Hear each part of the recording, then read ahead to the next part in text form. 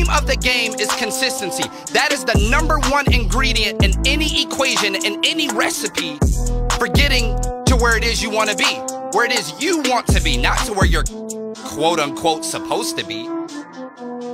Your finish line and your, your success is relative to who you are. It does not look the same and it shouldn't. So had you not quit, where would you be right now? What does consistency